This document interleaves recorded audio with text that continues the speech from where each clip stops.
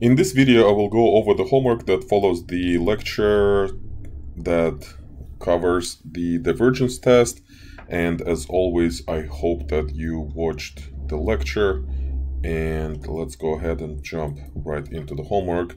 And the first question is asking us to apply the divergence test to a given series and to apply the divergence test means to find the limit of the nth term as n approaches to infinity. So here we would have to use all the tools and skills that we acquired in the previous um, uh, sections uh, because this is a question of convergence of a uh, sequence and we are going to look at this sequence and intuitively we know it's going to be infinity because we have a polynomial and logarithmic uh, function here. So again I'm using that uh, very useful theorem conditionally here. Uh, so by L'Hopital's rule this is the same as let me just transfer it over by L'Hopital's rule, this is the same as this limit.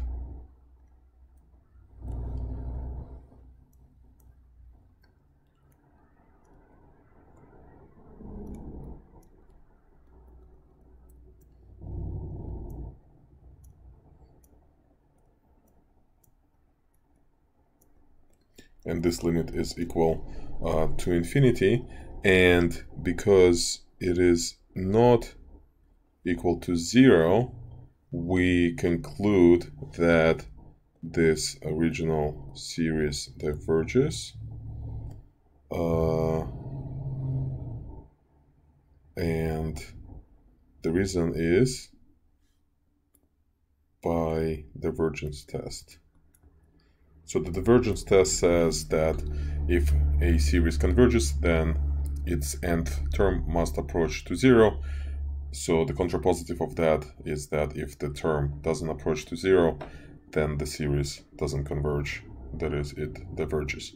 So the series diverges. Now, note that if that limit was equal to zero, we would say that the test is inconclusive. We wouldn't we would never say that the series converges by the divergence test. That's not the purpose of this test. All right, next question. Same question. We're given a series.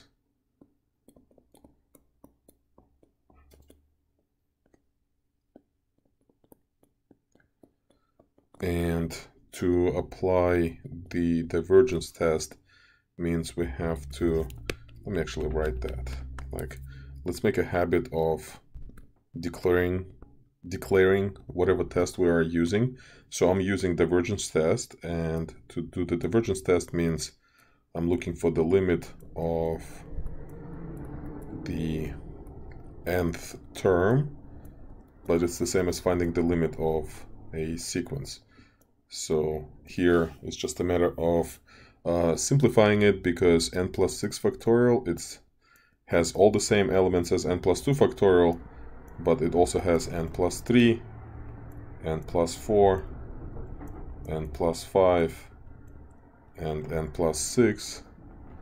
So when n plus 2 factorial is uh, reduced, we have a limit of a sequence that looks like a polynomial. So when n goes to infinity, this also goes to infinity. So since it's not equal to zero, we conclude that this series diverges by the divergence test.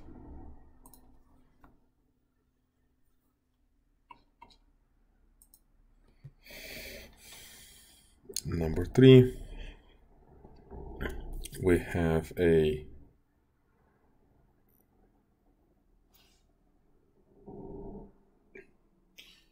so this question even though we don't have a series, but this question is a setup for this uh, question. So let me just write it as if we had a series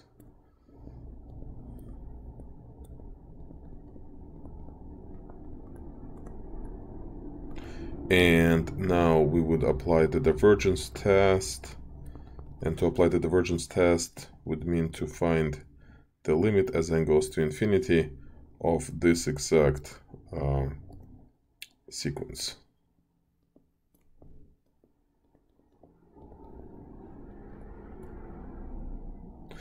And here, again, the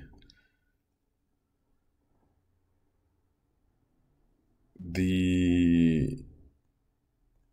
why is it equal infinity? It's not as important as the fact that it is equal to infinity so I don't really want to focus on the reasons. So intuitively we know that I guess I can I can explain why is it so but intuitively so here's how because this being a first step of some other problem you don't really want to spend too much time on this. So you want to develop intuition in regards to identifying the limit of some common sequences. So in this case, like intuitively, we know that this limit will be the same limit as this. So pretty much when n goes to infinity, you can treat uh, polynomials as, um, not treat them as, but you can replace each polynomial with just its leading term. So polynomial behaves at infinity exactly the same way as its leading term. So these limits are the same. And and therefore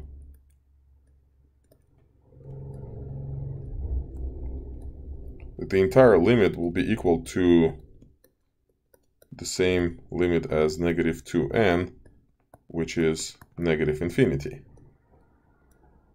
So, because it's not equal to 0, we conclude that this series diverges. Um,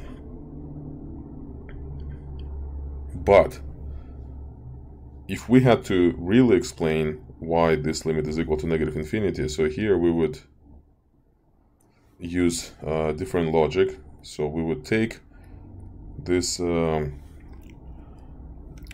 expression and we would divide everything by n squared. Or let's divide it by n, just n. I think it's better to divide it just by n, right? So in the numerator, we're going to have 10 over n minus 2n. In the denominator, we're going to distribute that, you know, 1 over n inside of the cube root. So it's going to go inside of the cube root as 1 over n cubed. So we're going to have 1 plus 5 over n squared plus 3 over n cubed. And again, this solution is still inspired by strong intuition that this limit has to be equal to infinity. And uh, so for that reason, I personally prefer this uh, reasoning because it's just nicer and shorter. But what I'm showing you right now is what you would see in, in the textbook. So this now goes to zero, this goes to zero, this goes to zero. So the whole thing now pretty much uh, the denominator goes to 1 entirely, right? Because everything inside goes to 0 except 1. And now we pretty much have the same conclusion. Negative 2n over 1, which is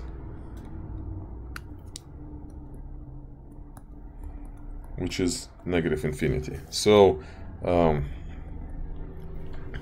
yes, that's that's that's a more formal reasoning. And to answer this question, we would say the limit is equal to negative infinity, but in the context of using the divergence test, we would say the um, series diverges by the divergence test.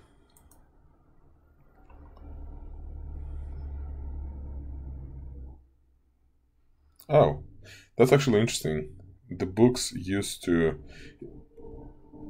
used to do what I just did, but it's interesting that they now applying the shorter reasoning. All right, next problem.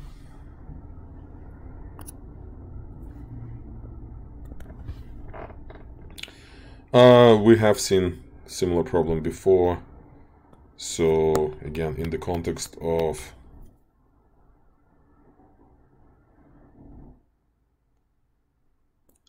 series,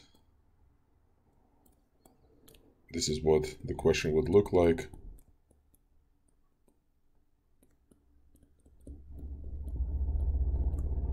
And if we apply the divergence test, then we set it up as a limit as n goes to infinity of this sequence. And using the properties of factorials we can reduce this numerator into the product of all the terms that n plus 2 factorial has and then we're going to have n plus 3 and so on all the way up to n plus 8 so after this cancels, we have the limit as n goes to infinity and we have nothing but n plus 3 times n plus 4 and so on up to n plus 8 which of course goes to infinity as n goes to infinity. So we would say this series diverges by the divergence test but to answer this question we would have to say just infinity And the homework is complete. If you have um, any questions, please feel free to reach out.